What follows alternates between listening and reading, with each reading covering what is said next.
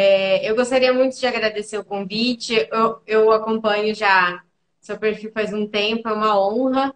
É, e eu queria falar que aqueles desenhinhos que você vai colocando, se você escolheu esse, aquilo é muito legal, aquilo é incrível. E é muito interessante para a gente se conhecendo, né? Ter autoconhecimento. E eu sempre vou compartilhando com os amigos para a gente é, ir desenvolvendo essa autopercepção. É, e até falando nisso, né? Quem nunca sofreu por amor? A gente, eu sempre vou mandando para as minhas amigas também, eu vou compartilhando é, os seus apontamentos sobre sofrer por amor, né?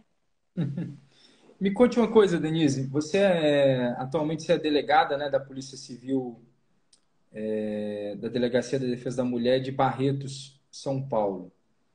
Né? Isso. E já faz tenho... quase três, já faz quase quatro anos. Quase quatro anos já. Tá. Quando, é, tem muitas mulheres, inclusive, que às vezes se sentem incapazes, né? É, de ter sucesso, às vezes, na profissão, na vida profissional. É, como que você lida com isso? Como que você também reagia antes de ser delegada?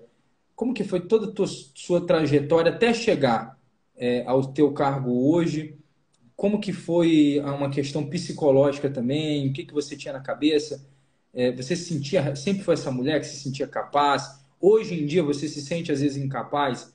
Porque tem pessoas que olham para a gente e pensam que a gente é super-homem, né?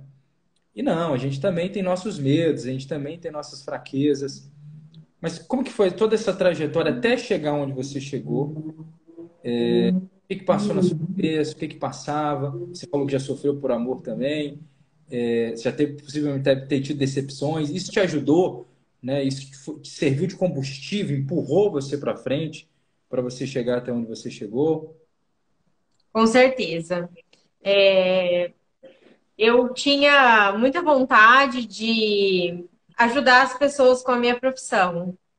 Eu, durante a faculdade, eu participava de projetos que atendiam pessoas da comunidade e eu tinha uma vontade de conciliar é, a minha fonte de renda, né, que é o meu trabalho, com a possibilidade de colaborar de alguma forma positiva com as pessoas, né, para as pessoas.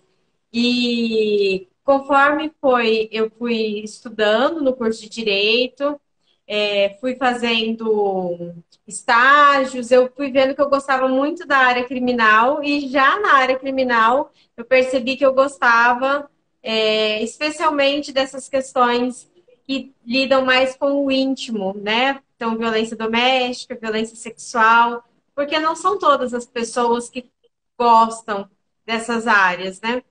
E estudei, fiz um concurso que tem muitas etapas, e finalmente passei no concurso.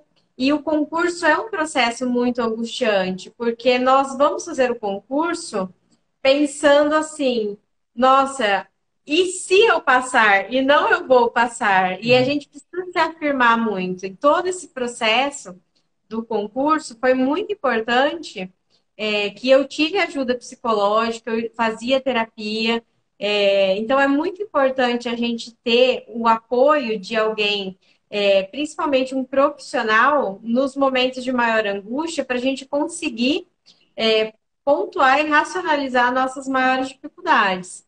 E não é porque eu estou numa posição de poder que eu tenho poder sobre todos os meus sentimentos e tive controle de tudo que aconteceu na minha vida. Muito pelo contrário as dificuldades vão surgindo com certeza e a gente precisa é, ir ponderando e se equilibrando para conseguir passar por elas. Então, foi um processo difícil, já sofri por amor também, já tive relacionamentos desfeitos, expectativas que foram